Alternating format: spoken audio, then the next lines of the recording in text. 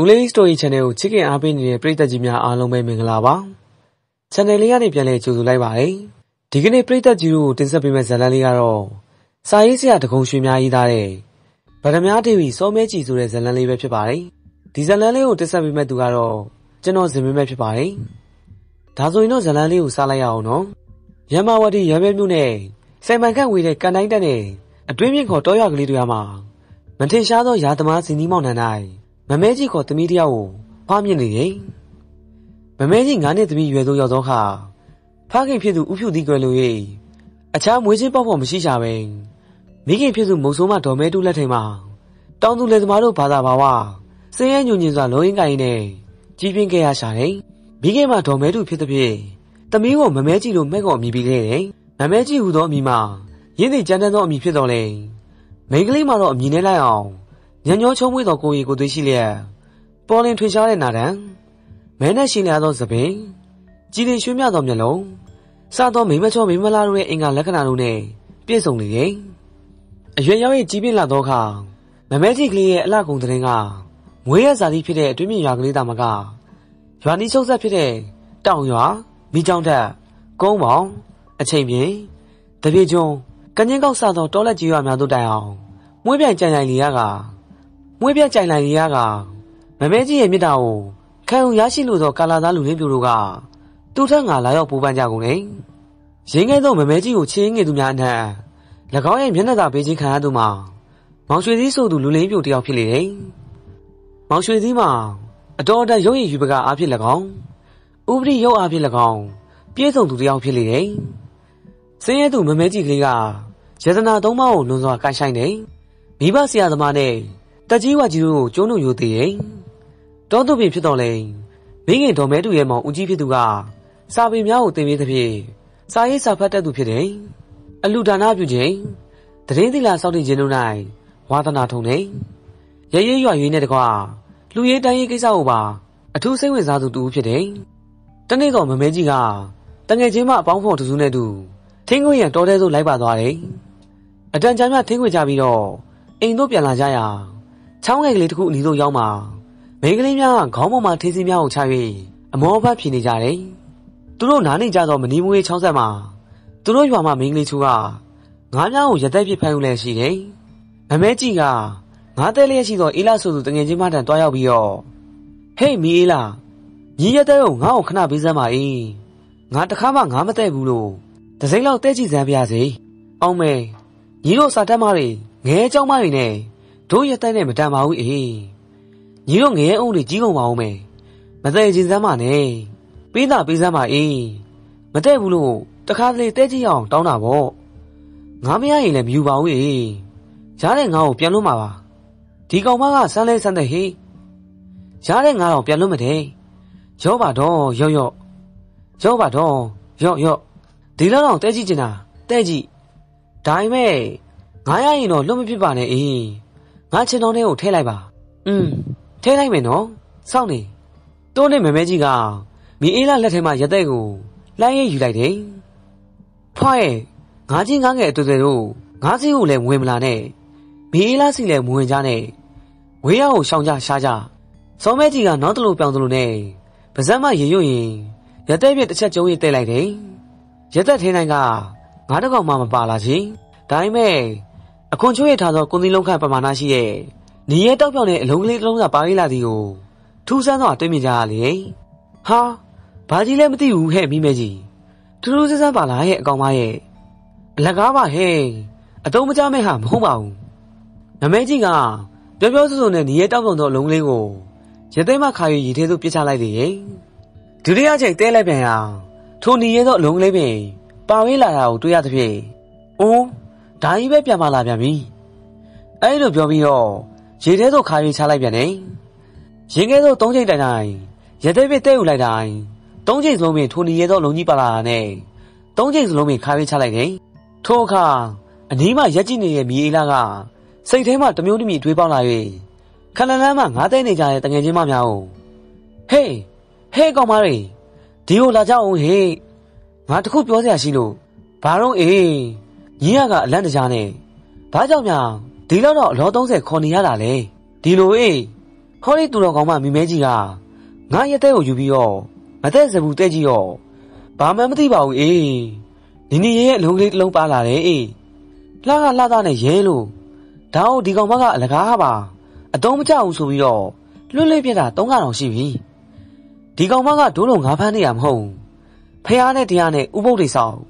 သူ့အမေကိုလှုပ်ကြည့်တော့ ငါဖြင့်မဟုတ်ကမှလွယ်ရောလက်တွေကြားတွေကမားလာများလာမဆိုနိုင်ဘူးသူနဲ့မီးလာပါဝင်ငါတဲ့နေတော့မိန်းကလေးများကမမဲကြီးနောက်ဆုံးခါရေးချလိုက်တော့နေရတဝိုင်းမှာသူတန်းကရလို့ရန်ကရတဲ့များဖြင့်အနှံ့ပြတဲလျက်ရှိကြကုန်နေဒါပေမဲ့ညီရဲသောလုံးလေးကမြည်သူရက်တဲ့မှာပါပါပြီမလားချင်းထိုးကမီးလာကမမဲကြီးကိုဟေးကောင်မမီမဲကြီးညီရကိုညီပြန်တဲ့ပြစမ်းပါအောင်အေးညီကလေ ဒီဟာကြီးကိုဘာလုပ်ဖို့လဲအေးပြန်ရရင်လည်းငါမလို့ချင်ပါဘူးကဲရက်တဲ့ပြီညီတို့ကပြန်တဲ့ပါဆိုလို့သာတဲ့ရမှာအဲ့လိုပြောပြောဆိုဆိုနဲ့မမဲကြီးကမီးရထမရတဲ့ကိုယူ၍တကြိမ်ပြန်၍တဲ့လိုက်ရာရခင်ကလူကြီးပါလာသည်ကိုထူးဆန်းစွာတွေးကြရလေတယ်အဲ့ဒီခါအားလုံးကပင်ဝိုင်းမမဲကြီးကိုဟေးကောင်မဒီခါတော့ပြန်မလွတ်ပါနဲ့အေးညီနဲ့ထိုက်လို့ညီရတဲ့ပစ္စည်းကိုအင်းကြီးအိတ်ထဲထည့်ပြီးတော့ယူသွားစမ်းမကောင်းပါရဲ့ တို့တောင်းပန်ပါတယ်ဤသို့ပင်မမဲကြီးကဒီရဲတောက်ပြောင်သောလုံးကြီးကိုအိမ်ထဲမှာထည့်၍အိမ်သို့ယူဆောင်လာခဲ့လေတယ်မမဲကြီးသားမိလက်ထဲမှာရှိသောအဖိုးတန်ပထမကြီးတရင်ကကန်တိုင်းနဲ့တာမကလေးတောင်ကြောက်ချောင်းရမ်းပေါင်တင်းမကင်စသောတိုင်းနယ်များထိဟိုးလေးတကြော့ဖြစ်သွားတော့တယ်တို့ဖြစ်၍ရဲဘက်သမားကြီးကိုကြီးလို့မြင်လို့ကြသဖြင့်ထိုနယ်များနဲ့တကွအခြားရွာနီးကျုပ်ဆက်များကပင် တကူးတကလာရောက်ကြည့်ရှုကြရာပွဲတော်ကလေးတည်းများစီကားပြီးနေရောတယ်ကြည့်ရှုရလာရောက်ကြသူရွာသူရွာသားတိုင်းလိုလိုပင်မိမိတို့တက်နိုင်သမျှစီဆက်ငပိငချောင်စသည်တို့မမဲကြီးတို့သားမီးကိုလက်ဆောင်ပနာဖြစ်ပေးရန်ယူဆောင်လာကြတယ်တို့နဲ့မမဲကြီးတို့သားမီးမှာလက်လာပါများပေါ်များလျက်ရှိတော့တယ်ထိုအခါ၌ဗဒမားကြီးကိုအိမ်မှာတဝဲရင်မထားတော့ပဲရွာဦးဆရာဖုန်းတော်ကြီးကျောင်း၌ကြောက်စီချွေချကလတ်တစ်ခုပေါ်မှာဝါကုန်းနဲ့ရေးပတ်လျက် မန္တရဲ့အလယ်မှာအဆောက်အအုံများနဲ့ထားရတယ်။ဘေးကနေမျိုးသူကြီးကစင်းရဲသူစင်းရဲသားနဲ့မထိုက်တန်မင်းတို့နဲ့သာထိုက်တန်သောဤပြည်တံဗဒများကိုမမဲကြီးတို့တားမိလက်ထဲမှာတင်းယူပြီးမြောက်ဦးရွှေမျိုးတော်မှာရှိရဲ့ဘေးမိမကြီးတန်ဆက်သားမယ်လို့ယူရကနောက်လိုက်ရွှေရံများနဲ့အတွင်းပြရွာကလေးစီတို့ခြိတက်ရောက်ရှိလာတယ်။ထို့နောက်ကလတ်တွင်းမှာဗဒမားကြီးကိုရှူစားရအလုံးမင်းထူးခြားပြီးတော့ဘေးနန်းတော်မှာမရှိတော့ဗဒမားမျိုးဖြစ်သည်ကိုကောင်းစွာသိရှိရတယ်။ သုံးနှစ်ဘေးကနေမျိုးသူရကမမဲကြီးစင်းရဲသူမသားမီးတို့အသက်ပြငွေ9000ကျပေးကမ်းခဲ့ပြီးတော့အဖိုးရဗရမယတနာကြီးကိုယူဆောင်သွားလီတော့တယ်ရွှေမျိုးတော်ဆုံးရောက်၍နေမျိုးသူရိယကဘရင်ကြီးနဲ့ခါဆောင်ဝင်၍ဂရီပါကျုပ်ကိုဆက်သားလျာဘရင်ကိုယ်၌ဂရီပါကျုပ်ကိုဖွင့်လိုက်ရှူစားသောအခါမှာဗရမကြီးမရှိတော့ကြောင်းကိုသိရတယ်အဲဒီကဘရင်ကြီးလည်းနေမျိုးသူရိယကိုအကျိုးအကြောင်းကိုစစ်စစ်မြင်မြန်၍အကျိုးအကြောင်းကိုရှောက်တင်သောအခါမှာ မိမိနဲ့ညီကိုဝမ်းခွဲတော်ဆက်သူဘယင်ကနေမျိုးသူရိယကမြည်သည့်ခါမှာမဟုတ်မမှန်တဲ့စကားကိုဆိုဘူးသူမဟုတ်မိမိပေါ်အလွန်သစ္စာရှိပြီးတော့ယုံကြည်စိတ်ချရတဲ့သူတစ်ယောက်ဖြစ်တဲ့အတွက်၎င်းတည်လျှောက်တဲ့အတိုင်းယုံကြည်တော်မူလေတယ်။ထိုကပညာရှိအမတ်ကြီးဝီမလာကဘင်းကနေမျိုးသူရိယကိုအကြောင်းချင်းရဆုံးလင်းစွာကိုမင်းမြတ်ပြီးတော့အမျိုးမျိုးသောဝိထုတာတကဥပမာဥပမေယတို့ကိုထုတ်ဆောင်ကဤပရမရဲ့အရှင်တကယ်ဖြစ်ကိုခိုင်းယူလိုပါက၎င်းပရမရဲ့မူလပိုက်ရှင်အမျိုးသမီးလေးကိုပါ တပါလဲတိမ့်ပိုက်တော်မူရန်တင်ကြောင်းပရမကြီးနဲ့တကွာပိုင်ရှင်မျိုးသမီးပါလက်ဝဲရောက်ရှိကအမျိုးမျိုးသောဖုံးတကိုးအာနိသင်တိုးတက်နိုင်ရန်ရှိကြောင်းတို့ကိုပါစိတ်ကိုဆုံးလင်းစွာဘင်းကြီးကိုလျှောက်ထားတန်တော်ဦးတင်လေတယ်။ဘင်းမြမြက်ကိုယ်တိုင်အတွင်းပြင်းရွာကိုခြေတော်မူလာပြီးနောက်ဗရမကြီးနဲ့တကွာ၎င်းပိုက်ရှင်မမဲကြီးကိုပါတင်းတော်မူလျက်မမဲကြီးကိုမိဖုရားဖြစ်တင်မြောက်မိဖြစ်ကြောင်းကိုကန်တိုင်းနဲ့တကြီးတံမှာတစင်စာချုံတော်ပို့ဝေးဖြစ်လေတယ်။ထိုစာချုံတော်ရောက်သည့်နေ့ကပင် ညအချိန်၌ချစ်သူလူတို့မှာမိမိတို့ရှေ့ကိုမျှော်တွေးကတယောက်မျက်နှာကိုတယောက်ကြည့်မဝတယောက်ပြောသောစကားကိုတယောက်နားထောင်ရင်မဝအောင်ရှိခဲ့လေတယ်။ရွာနဲ့မနီမူရဲ့တောင်ကမှုကလေးတစ်ခုပေါ်၌မောင်ရွှေသီးကချစ်သူမမဲကြီးကိုပွဲဖွဲ့ယူရလျက်ရှိလေရော်တယ်။နောက်ဆုံးမှာမောင်ရွှေသီးကမမဲကြီးရဲ့ကြောကလေးကိုယူရစွာပို့သက်လျက်မိမိတို့အသက်နဲ့တကွမိခင်ကြီးရဲ့အသက်ဥစ္စာစီးစိမ်တို့ပါချမ်းသာရရအောင်ဘရင်ကြီးကြွားရောက်တိမ်ပိုက်သည့်အချိန်မှာမိမိရဲ့အပူရုပ်ကိုအမှုလုံး၍ မိမိရဲ့အပူရုပ်ကိုအမှုလုံး၍ဖုံးပြီးက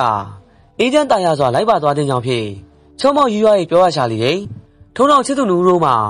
တောင်ကမှုလေးတစ်ခုပေါ်မှာဆင်းကနောက်ဆုံးခွဲခွာချင်းဖြင့်ခွဲခွာရေးလာခဲ့ကြလိမ့်တယ်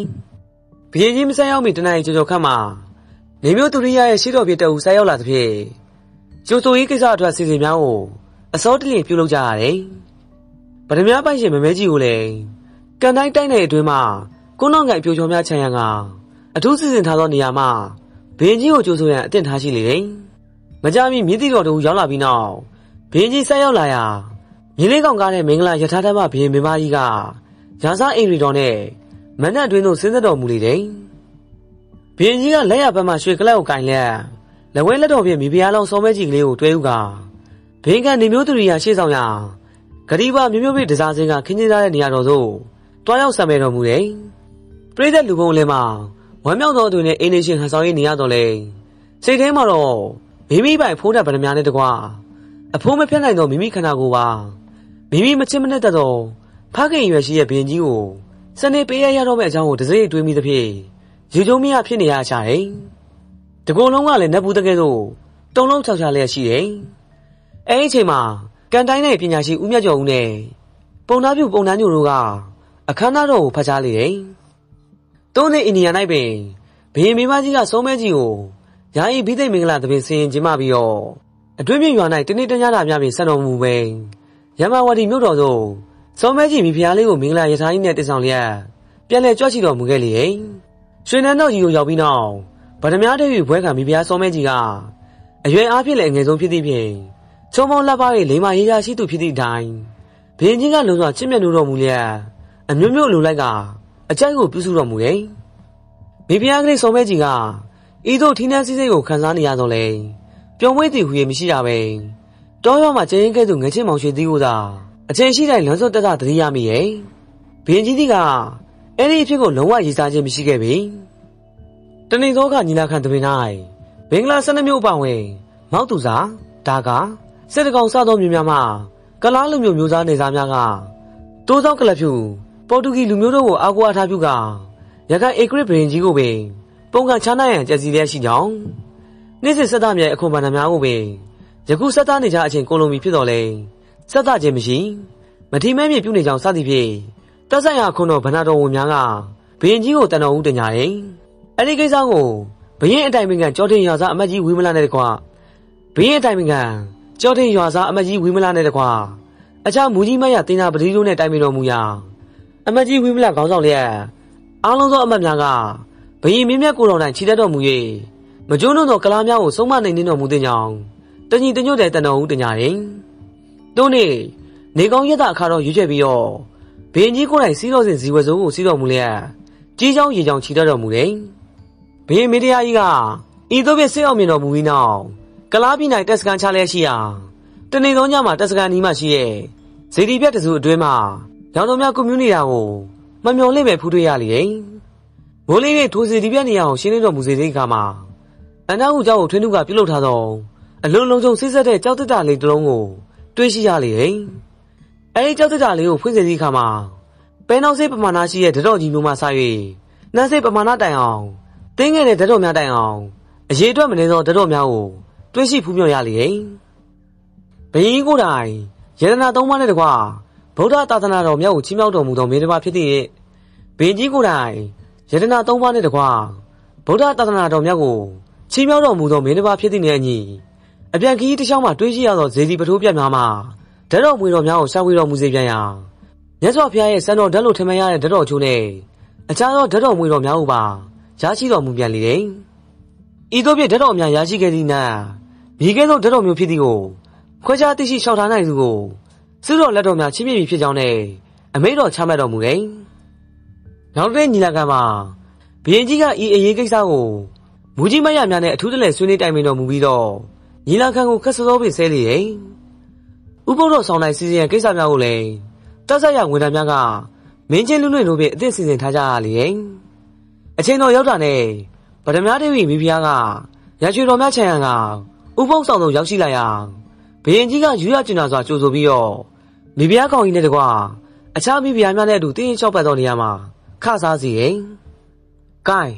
နှမတော်လိုရှိတဲ့အတိုင်းအသစ်ပြင်ဆင်ထားပါပြီ။ဆောင်ရွက်ရဲ့ကိစ္စကူသာဆောင်ရွက်ပါတော့နှမတော်အမိတော်မြတ်တိုင်းပါဗျာ။ဗဒမြတို့၏မိဖုရားကဥပုသ်ဆောင်တွေမှရှိတဲ့စေတုတော်ကိုပူဇော်ကြောကငါးပါးသီလကိုခံယူပြီးတော့တစ္ဆာအဋ္ဌံကိုပြုလေရင်ဤကဲ့သို့တစ္ဆာအဋ္ဌံပြုပြီးနောက်ဗဒမြဒေဝီမိဖုရားကဓာတ်တော်များကိုယတနာရွှေကျုံးမှပြပိုက်ပေါ်သို့ တွန်းချလိုက်လေထိုကနာ၌ပင်မြတ်စွာဘုရားသခင်ရဲ့စံတော်မြတ်မှဖြစ်သောစံတော်ဓာတ်များကဥကောင်းတော်၌၎င်းနားမွေးတော်ပါမွေးတော်ဓာတ်များကနားတော်ပါတော်များ၌၎င်းဤနည်းတူဥကင်းတတ်တော်လေရိုးတော်ညံရိုးတော်ဓမ္မစာ၍အခြားအခြားသောဓာတ်တော်များကအသီးသီးသူ့နေရာ၌သူနေရာတော်များ၌ရေသက်ရှုမောအံ့ဩဖွယ်ကောင်းတော့ရေသက်ရှုမောအံ့ဩဖွယ်ကောင်းတော့ကိန်းဝတ်တည်နေတော်မူကြကုန်နေဤချင်းရအောင်ဘေးမင်းတရားကြီးနဲ့တကွာ မူးတော်မတ်တော်များမိဖုရားကြီးငယ်များနန်းတော်သူနန်းတော်သားများဖူးမြော်ကြရကချီယူထောမနာဩဘပေးမွားနိုင်အောင်ရှိကြလေတော့တယ်ထို့ကဘေးမင်းတရားကြီးကဗဒမြဒေဝီမိဖုရားရဲ့တစ္ဆာအဋ္ဌံကြောင့်မိမိလိုတော့ပြည့်သဖြင့်နှစ်ထောင်အရဝမ်းမြောက်တော်မူလာကြောင်းမေကြတော်မူပြီးနောက်မိဖုရားစောမဲကြည်ဘက်သို့လဲ၍ကိုင်းနှမတော်နှမတော်လူတဲ့စုကိုသာတောင်းပြီးတော့မောင်တော်ဖုရားခွင့်ပြုတော်မူပါကယခုတက်တော်များကိုနှမတော်ရဲ့ဇာတိဖြစ်တဲ့ကန်တိုင်းတက်နယ်တွင်နဲ့တကွာ ရခိုင်နိုင်ငံတော်တဝမ်းလုံးကိုလှည့်လည်ပြီးတော့ဇေယီတော်ပထိုးတော်များကိုတီတာကိုကွယ်လူလာပါတယ်ဖုရားနှမတော်အလိုရှိတဲ့အတိုင်းတက်တော်များအနက်မှကြာရအောင်ယူချွေပြီးတော့နှမတော်ရဲ့စိတ်သဘောတိုင်းဇေယီပထိုးများတီတာကိုကွယ်ခွင့်ပြုပါတယ်နှမတော်ဤသို့ဖြင့်ဘုရင်ကြီးကတက်တော်မျိုးမျိုးတို့ကိုရွှေပြစ်ပြီးတော့ရနနာကျုပ်များမှာတမျိုးစီတိကျရွေးချယ်၍ကိုတော်တိုင်ထဲတော်မူပြီးနောက်တပီးရထိုးစေတယ်။မိဖုရားစောမဲကြီးကဘယင်မိဘကြီးရဲ့လေးနက်ခွင့်ပြုချက်ကြောင့် အတိုင်းမသိနှစ်သက်အားရတော်မူပြီးတော့မိမိငကိုရေးစနာတိုင်းရံများမကြမီအတွင်ရံများမကြမီအတွင်ရွယ်ပြကျွန်းတို့ကြွချီတော်မူခဲ့တယ်။မိမိမွေးဖွားရဇာတိဖြစ်သောမိမိမွေးဖွားရဇာတိဖြစ်သောအတွင်းပြင်ရွာဦးတောင်ထိပ်မှာမြတ်စွာဘုရားရဲ့နားမွေးတော်ကိန်းဝရရတနာရှိချိုးကိုထားမနာလျက်နားမွေးတော်ဇေဒီကိုပထမဦးစွာတည်ထားတော်မူလေတယ်။စောမဲကြီးမိဖုရားကြီးကတန်တဲ့ခရိုင်တွင်ယခုတိုင်ထင်ရှားကျော်သောလူသိများစေဖြစ်တော်မူကြတဲ့ စံတော်ဇေဒီနံရိုးတော်ဇေဒီဓပေါင်းစုဖျားလာဇေဒီများကို၎င်းရိုင်ပြကျိုးကြီးတွင်ကြောင်ကြောင်တက်နေ၌လေယိုးဇေဒီနှင့်ရိုင်ပြမြို့အနီလက်ဖြတ်တော်ရိုင်ပြမြို့အနီ၌လက်ဖြတ်တော်ဇေဒီနှင့်တင်းမကိုင်တိုက်နေဟုံးတိုက်နေလေးတောင်တိုက်နေများအတွင်းမှရှိတဲ့ယခုတိုင်တကူကြီးစေဖြစ်တော်မူတဲ့ဇေဒီတော်ပထိုးတော်များများကို၎င်းတီသားပူဇော်ခဲ့လေတယ်မိဖုရားကြီးစောမဲကြီးကညောင်ရွှေမြို့တော်၌နာယုကဆန်တော်မူနေစဉ်မိမကြီးရဲ့ဆန္ဒတိုင်းတည်တော်မူခဲ့တဲ့ ရှစ်တောင်းစီတော်ရင်နီးမှာမိမိရဲ့စိတ်တိုင်းကြဇီးတော်တစုကိုဓာတ်တော်မြတ်မျိုးစုံထားမနာလက်တည်ထားမယ်လို့ကြံစီစိတ်ကူးတော်မူတယ်။ရင်းစိတ်ဒီတော်ကဗဒမြဒေဝီစောမဲကြီးနောက်ဆုံးတည်ခဲ့တဲ့ဇီးတော်မြတ်ပင်ဖြစ်တယ်။ပင်ဆရာကြီးဥရွှေသည်ကမိမကြီးရဲ့ကောင်းမှုတော်ဖြစ်တော်ရှစ်တောင်းစီတော်ကိုတည်ထားတော်မူစဉ်ကစီမံအုပ်ချုပ်ခဲ့ရတယ်။ရင်းစီတော်ကြီးကအဲ့ဒီခေတ်အဲ့ဒီခါကအသုံးပြုခဲ့သောတရက်အင်္ဂလိပ်များမှာကျွဲရည်ပြအုံတုံ တင်လေထုံတဲစားရီတို့ကိုရှင်းနှီးမှုတိုင်းအချိုးကျဆက်ဟပ်ပြုလုပ်ကြရတယ်အလွန်လဲပြင်းတွဲခံခံတယ်ဒါပေမဲ့ဖော်ဆက်ရမှာကျွဲရည်ပြမှာအဓိကပစ္စည်းတစ်ခုဖြစ်တယ်တနေ့မှာရှစ်တောင်းစီရောအတွင်300ထားတော့ဘရင်ပနာတော်ကျွဲရည်ပြ၅ချက်ကစည်ရင်းနဲ့တကွအတိအကျထားမှပျောက်ဆုံးသွားကြောင်းပယံဆရာဥရွှေသည်စစ်စစ်တွေ့ရှိရတယ်ရင်းကိစ္စကိုစုံစမ်းရမိမိရဲ့တပင်များဖြစ်ကြသောငလုံးငချက်ကြီး ငပြေတီတို့ကအချုပ်ကိုရဲနဲ့လဲလဲ၍၎င်းအချုပ်ကိုမိဖို့ကလက်သုံးလုံး၍၎င်းစားတော့ပြစ်ကြကြောင်းအသေးချာတွေ့ရှိရလေတယ်။ဦးရှိသီးကတပည့်ဆုံးများပေါ်မှာရုတ်တရက်ဒေါသထွက်ကတပည့်ဆုံးသုံးဦးရဲ့ပါများကိုလံဝါဖြစ်ရိုက်ခြင်းလက်သီးတို့ကခြေပြေးကန်ချောင်းခြင်းများကိုပြုလုပ်ကအမှုမှာမင်းမြင့်မင်းတန်တင်းလောက်သောအမှုပင်ဖြစ်လင်ကစားအထက်အရာရှိများကိုတစုံတရာတိုင်ကြားခြင်းမပြုပဲတပည့်မိုက်များနောက်တရရစီရန်များသာဂိယူနာဒေါသောဆုံးမလိုက်ခြင်းဖြစ်ပေတယ်။ ထိုသုံးအောင်စလုံးကရံမြဲကျွန်းသားများဖြစ်ကြသည့်အတိုင်းပယံစရာဥရွှေသည်နှင့်မိဖုရားစောမဲကြီးတို့ရဲ့ငယ်စဉ်ကအကြောင်းများကိုအတွင်းသိတည်ထားသူဖြစ်လေတယ်။မိမိတို့ဆရာကကောင်းဆွေလူရဲ့ဆုံးမသည်ဟုမြူစားပဲလူများရှိမှမိမိတို့ကိုအဆက်ခွဲတဲ့လူယူမက်ကတနေ့မှအချက်ကောင်းပေါ်ကလှလှကြီးလက်စားချိန်မယ်လို့ရညိုးလှလှကြီးလက်စားချိန်မယ်လို့ရန်ညိုးထားခဲ့လေတယ်။တိုးနေလေဤအချက်ကိုအခွင့်ကောင်းယူရန်စိုင်းပြင်းကြတော့တယ်။ ရှစ်တောင်းဇီတော်ကြီးအပိသက်ပြီးသည့်နောက်မိဖုရားကြီးစောမဲကြီးကရင်းစိတ်တည်ကြီးနဲ့မနီးမွေးမှာမိမိစိတ်တိုင်းကဓပေါင်းစီတော်သူသူတည်ရန်ပယံဆရာများနဲ့နှီးနှောတိုက်ပေးလျက်ရှိတယ်။အဲဒီကပယံခေါင်းဆောင်ဖြစ်သောဦးရွှေသီးကမြေဒီပုံစံမျိုးရှိသောဇီတီလိုကြောင့်မြင်မြန်ရန်ဗရမ ्या ဒေဝီစံနေသောနောက်ဆောင်တို့တနေ့မှရောက်ရှိလာလေ။အဲဒီအချိန်မှာဗဒမြဒေဝီမိဖုရားကပူအိုက်သောရာသီဖြစ်သဖြင့်တကြောင်အခြားသစိမ့်စရာမရှိပဲ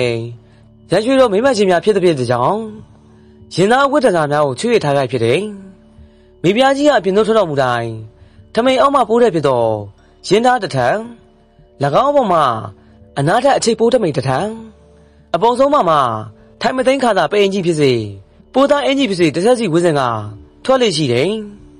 ယခုတစ်ချိန်မှာတော့အပြင်မှာဧည့်သည်ဆောင်နေသဖြင့်ရုပ်တဲ့ကတိကကြီးဖြစ်သောကြောင့်ရင်သားအဝတ်ကိုမလွန်ပတ်မိပဲရှေ့ရခိုင်နတွေးသူများနဲ့ ရခိုင်ပြည်သူမျိုးသမီးများဝေးလေးရှိတဲ့အတိုင်းပိုးချိတ်ထမိန်ကိုရင်လိုက်တင်က၎င်းဘုံမှာခါတာပိတ်ထိုင်တဲ့အင်ကြီးကိုဝေးလျက်၎င်းဘုံမှာခါတာပိတ်ထိုင်တဲ့အင်ကြီးကိုဝေးလျက်အဲ့ကခမ်းမောက်ဆောင်တို့ရရွှေတော်အချို့နဲ့အတူထွက်တော်မူတယ်ရုတ်တရက်ရှောင်းတဲ့ဖြစ်တဲ့ဖြစ်လေအချိတ်ထမိန်ကိုတင်းကျပ်စွာမွေးပဲရော်ရဲရဲဝစ်ဆွေထွက်လာခဲ့မိတယ်အဲ့လိုထွက်တော်မူလာစဉ်လေသာပြတင်းကိုဖျက်ဆီးတိုက်ခဲ့လျက်ရှိသောလင်းငင်းတန်ကြောင့်ပါလက်လာသောအပေါ်ဝင်းထိုင်မသိအင်းကြီးမှာ လေကစားတဲ့လှုပ်ရှားရနေတယ်ခမ်းမဆောင်တကားထိပ်သို့အရောက်မှာမိဖုရားကကျမ်းမြင့်စုံထီလူနီပါဝစ်စင်ထားတဲ့ဂရိဘအနာတဲ့အချိတ်ထမိန်စားကိုခြေလိုင်းမတော်စနေမိနေရမူလာကမိရော်ရဲရဲဝစ်စင်ထားသောထမိန်ကရုတ်တရက်ပြေကြပြီးတော့ရင်သားပေါ်လူနီပါအောက်သို့ရောက်ရှိသွားလေတယ်တတိကောင်းလာသောမိဖုရားကြီးကပြေကြသွားသောထမိန်ကိုရုတ်တရက်ထိန်ဖမ်းဆုံးလိုက်တော့လေအတော်ပင်အိမ်ကြီးပြတ်ခဲ့ရလေတယ်ရင်းတို့ဖျားသည်ကိုပင် အတော်ပင်စိတ်နှလုံးထိခိုက်တော်မူပြီးတော့ပြန်စရာကြီးဥရွှေသည်နဲ့တစုံတရာမပြောတော့ပဲမကြမီရရွှေတော်သူရောက်လာပြီးတော့ဥရွှေသည်ကိုပြန်စရာကြီးသဘောကျသလိုဈေးတော်ကိုတည်ထားရန်မိဖုရားကြီးအမိတ်ရှိကြောင်ပြောဆိုလေတယ်ပြန်စရာကြီးဥရွှေသည်အနေနဲ့မူကစောမဲကြီးမိဖုရားကမိမိရင်သားပုံစံတီလိုသဖြင့်ဤကဲ့သို့ပြုမှုသည်လို့အတွေးကောင်ကယူဆလိုက်တယ်သူနဲ့စောမဲကြီးမိဖုရားတဲ့တည်ကြသောဈေးတော်ကိုတားမြတ်ပုံစံတီလေတော့တယ်ဤသို့ဖြင့် ဗရမ ्या ဒေဝီမိဖုရားကြီးရဲ့တပေါင်းစုဈေးတော်ကိုပယံဆရာကြီးဥရှိတီကဦးစီးလျက်တားမြတ်ပုံစံတီကာထားကြောင်းဘရင်ကြီးတည်တော်မူတဲ့အခါမှာဒေါသရှိတာရာသမှန်ပွားပြီးတော့ဆရာကြီးဥရှိတီနဲ့တကွာသူ့ရဲ့လက်အောက်ကပယံဆရာအလုံးကိုပါရှေ့တော်သို့အမြန်သွင်းရန်အမိန့်ချမှတ်တော်မူလေတယ်ပယံဆရာကြီးနဲ့၎င်းရဲ့တပည့်များရောက်ရှိလာသောခါ၌ဘယင်မင်းမြတ်ကိုယ်တိုင်နိုင်ရင်ပြင်၌စစ်သေးတော်မူလေတယ်ကျွန်ုပ်ရဲ့မိဖုရားစောမဲကြီးတို့မောင်မင်းကခေါင်းဆောင်ပြီးတော့ တားမြတ်ပုံစည်းတီထားရဲဆိုတာမှန်သလားမှန်ကြောင်းပါဘသူအမိတ်နဲ့တီးစလဲမှန်လားပါဗဒမြဒေဝီမိဖုရားကြီးကဖះကျွန်တော်မျိုးသဘောတိုင်းတင်းလျော်သောပုံကိုတီခွင်းပြပါသဖြင့်တီမိကြောင်းပါဖះဒီမှာမောင်မင်းမောင်နဲ့ငါကိုတော်မြတ်မိဖုရားစောမဲကြီးဟာအလွန်အလွန်အယောဝင်ကြတယ်လို့ကြားရတယ်မောင်မင်းတို့ပြန်ဆရာတွေတဲကဘယ်သူဟာသူတို့နှစ်ယောက်အကြောင်းကိုကောင်းကောင်းသိကြတယ်လေမကြောက်မရွံ့ ရဲဝိုးစွာတတော်ဦးတင်ကြဆန်ထို့ကပြန်ဆရာကြီးဥရွှေသီးပေါ်ရညိုးတုတ်ခဲ့ကြတော့ငလုံးငချက်ကြီးငပြေတီတို့သုံးသားတို့ကအခွင့်ကောင်းကြုံကြပြီဖြစ်၍တယောက်နဲ့တယောက်လက်ကုတ်ကသူ့ထက်ကတတော်ဦးတင်ကြလေတယ်မှန်လားပါကျွန်တော်မျိုးတို့သိသလောက်တတော်ဦးတင်ပါမယ်ဖေ။အရှင်ဘုရားရဲ့ကျေးဇူးတစ္ဆာတော်ကိုထောက်ထား၍မှန်တော်တတော်ဦးတင်ရပါရင်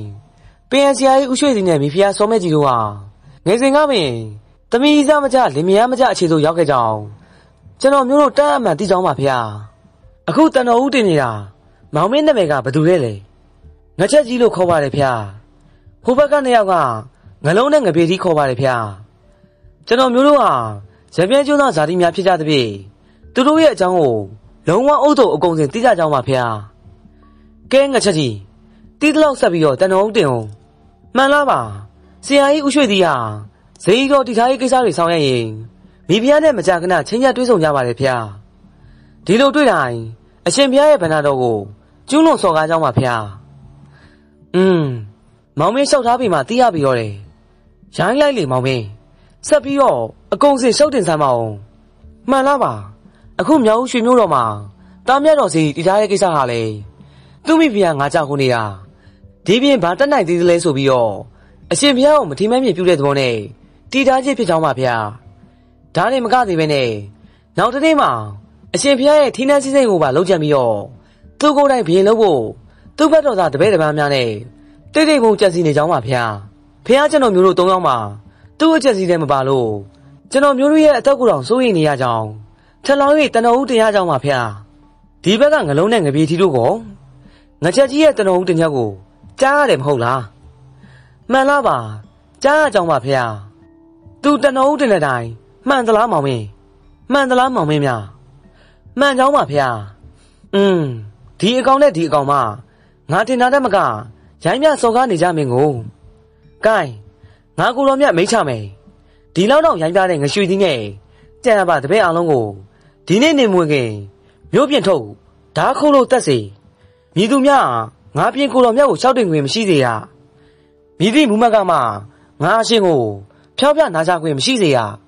ထိုးလင်းညနေဆောင်နေမွေမီအကျိုးကြောင့်မှန်ကန်ရအောင်တန်တော်ဦးတင်ခွင့်မရရှာတော့ပြန်ဆရာကြီးဥရွှေသည်နဲ့တပည့်တပန်းများတို့မှတပည့်တပန်းများပြန်ဆရာကြီးဥရွှေသည်နဲ့တပည့်များတို့မှဘင်းမိမကြီးရဲ့မိဖြစ်လက်မျိုးအာနာသားတို့ရဲ့လက်မှာကိုမြတ်ချင်းကိုခံရလေတယ်နောက်တနေ့မှာမိဖုရားစောမဲကြီးကိုဘရင်အမိဖြစ်ရှေ့တော်သို့တွင်းခဲ့လေတယ်ဟဲ့တော်သူမှာမိမဲကြီးနင်းရဲ့မြောင်ဝေးပုံအကြောင်းကိုငါကိုတော်မြတ်ကောင်းကောင်းကြီးသိရပြီ မြောင်ဝေးရုံမြမကငါရဲ့ထင်းတန်းစည်းစင်းကိုတော့နေရိုးနှစ်ယောက်ကလုံးကြံမလို့ဆိုပါလားအတင့်ရဲ့တပောက်ကောင်မြောင်ထီးကိုတော့သူနဲ့ထိုက်တယ်နဲ့မပြန်လန်းကိုပို့လိုက်ပြီဒီတခါတော့နင်းအလဲပဲနင်းနဲ့ငရွှေသီးဟာငယ်ကြီးစားဟုတ်မဟုတ်မှန်ရကိုအခုတန်တော်ဦးတင်ဆန်းမှန်လားပါငယ်ကြီးစားအမှန်ဖြစ်ကြောင်းပါဗျာတိုးပါတော့လေဖျားနှမကလေးကမောင်တော်ဖျားရဲ့ဗန္နာတော်ဖြစ်လို့ရောက်သည့်အချိန်ကစ၍မိသည့်ချိန်ကမှ တစ္ဆတော်ကိုမကျူးမလွန်မဖောက်ပြကြောင်းတန်တော်ဦးတင်ဝန်းပါတယ်ဗျာမာယာနာတိုင်းနေလက်ပတ်ပြီးတင်တာကိုငါယုံရမှာလားစင်ကြီးစင်လက်တွေတက်မနေနဲ့တော့မိမင်းရုပ်တို့သွားတဲ့လမ်းကိုသွားမြဲတိုင်းသွားရလိမ့်မယ်ဒါပေမဲ့အကြောင်းအကြောင်းကိုထောက်ထားပြီးတော့ဘာမှနောက်ဆုံးရှောက်ထားခြင်းလဲဆိုတာကိုတန်တော်ဦးတင်ဆန်းမှန်လားပါဖះနှမတော်အထူးမလျှောက်ထားလို့တော့ပါဘူးပူပူရရတရဝါမှန်သမျှတေချင်းတရားကိုမလွန်ဆန်နိုင်တဲ့အတိုင်းယခုပင်မတေချာရတော့လေ နောက်အခါတေချာမိဖြစ်သည်ဖြင့်တေရမည်ကိုမကြောက်တော့ပါဖះဖះနှမတော်ခွင့်မလို့တာတစ်ချက်ကညောင်ရွှေမျိုးတော်မှာနှမတော်ကိုအဆုံးမစီရင်ပဲနှမတော်ရဲ့မွေးရစာကြီးဖြစ်တဲ့ကန်တိုင်းတွင်းမြရွာနားမွေးတော်စီအနီးမှာအဆုံးစီရင်စီလိုပါတယ်ဖះကောင်းပြီမဲမဲလိုတိုင်းငါကိုတော်မြတ်ခွင့်ပြုတော်မူတယ်တို့ဖြင့်နောက်ဆုံးဘေးတော်ချမှတ်ပြီးနောက်ဘင်းကြီးမျက်နှာလွှဲတော်မူလေတယ်မိဖုရားစောမဲကြီးကတရားပြေဝသောမိမမြတ်အာဇာနည်ဖြစ်၍ မိပြည့်မိထံမြင့်တရားမိရေးပင်ဖြစ်တော်လေမျက်ရည်တစ်ပေါင်းမကြတုံးလုံးချောက်ချောက်ချင်းကိမဲစွာဖြင့်မိမိပြုမှုသောကုသိုလ်ကောင်းမှုတို့ကိုသာအာရုံပြုကာဂုဏ်တော်များကိုပတိစိတ်ခြင်းပိဋတော်များကိုယူဆိုခြင်းဘာဝနာကပ္ပံစည်းပြခြင်းတို့ဖြင့်အချိန်ကိုကုန်လွန်စေခဲ့တယ်။သုံးနှစ်နောက်ဆုံးမှာမိဖုရားစောမဲကြီးကိုအဆောက်အအုံနဲ့ရံပြဲကျွန်းအတွင်းမြေရွာသို့ရောက်ခေါ်ခဲ့လေတယ်။ကိုမြင့်ရဲ့ကိစ္စကိုတော့လူများမသိအောင်လုပ်ဝတ်ထားပြီးနောက်သူ့ရဲ့လူတိုင်း နားမွေးတော်စီနီးမှရှိရဲ့ချောင်းကလေးကဘာသို့ကိုမြင့်ရဲ့ခေါ်ဆောင်ခဲ့တယ်။နောက်ဆုံးအချိန်တိုင်းမိဖုရားစောမဲကြီးကတစ္ဆာအဋ္ဌာတစ်ခုကိုပြုလေတယ်။ဖះတပည့်တော်မသည်မိမိရဲ့ကာမပိုင်ဖြစ်တော်ဘယင်မင်းမြတ်မတပါမိသည့်ယောက်ျားနှင့်များကျွလွန်ပြောပါမိုင်မာဘူးသည်မရှိပါမှန်သောတစ္ဆာဆိုပါ၏ဤသို့မှန်သောတစ္ဆာကိုဆိုရခြင်းကြောင့်ဖះတပည့်တော်မရဲ့အလောင်းသည်တဘာဝအတိုင်းရေစုံဖို့မစည်းပဲအထက်ရင်ညာသို့စံတက်မျောပါပါစေသာ စံတက်မျောပါပါစေသာကန်တိုင်းတွင်းမြေရွာသူဗဒမြဒေဝီဘွဲကံကန်တိုင်းတွင်းမြေရွာသူဗဒမြဒေဝီဘွဲကံစောမဲကြီးမိဖုရားကဤသို့ဖြင့်ရခိုင်ပြည်မိမကြီးရဲ့အမိန့်နဲ့ရာဇဝဲတင်တော်မင်းကြီးမင်းသားမိဖုရားတို့ကိုရာဇဝဲတင်တော်မင်းကြီးမင်းသားမိဖုရားတို့ကိုကိုမြတ်တော်ထုံတန်းစင်လာတိုင်းလဲမျိုးကိုဒုပြရိုက်နှက်ကကိုမြတ်ချင်းကိုခံရလေတယ်။ထူးဆန်းအောင်ဘွယ်ကောင်းသည်မှာမိဖုရားစောမဲကြီးရဲ့လောင်းကသူ့ရဲ့အထိတ်တန်တိုင်းအထက်ရင်ညာသို့ဆန်တိုက်ယူသွားလိတော်တယ်။ ဤအကြောင်းကိုရွှေမျိုးတော်သို့ရောက်၍ထောင်မူကြီးနဲ့တကွာအာနာသားတို့ကဘင်းကြီးကိုလျှောက်ထားကြသောအခါဘင်းမင်းမကြီးကထိုကမှငါသည်တစ္ဆာရှိသောမိဖုရားကိုတစ်ဖက်သားဂုံကျော်စကားဖြင့်ကိုမြတ်မိလေပြီလို့ယူကြုံမိရဖြစ်ရတော့တယ်။အဖိုးအနက်ကထိုက်တန်လာသောဗရမကြီးကလည်းမိဖုရားကြီးစောမဲကြီးကိုကိုမြတ်သည့်ချိန်မှစ၍ဘေးရဲ့ဗန္နာတိုင်းမှာထူးဆန်းစွာပြောက်ွယ်သွားလေတယ်။ဘရင်မိမကြီးကိုယ်တိုင်ပင်အချင်းဆုံးစောမဲကြီးမိဖုရားကြီးနဲ့တကွာ အဖိုးရဗရမယတနာရုပ်ပါဆုံးချုံရတဲ့အတွက်ယူကြုံမြဖြစ်ကဤစိတ်ဒနာဝေဒနာဖြင့်လာများမကြပြီမှာနိုင်ရဆန်တော်မူလေတော့တယ်။ဇလန်လေးကတော့ဒီမှာနေပြီးဆုံးသွားပါပြီ။ဇလန်လေးကိုဆုံးထိနားကျင်အားပေးခဲ့တဲ့အတွက်ပြည်သက်ကြီးအားလုံးကိုကျေးဇူးများကြီးတင်ပါတယ်။နောက်မှပြန်တွေ့ကြမယ်နော်။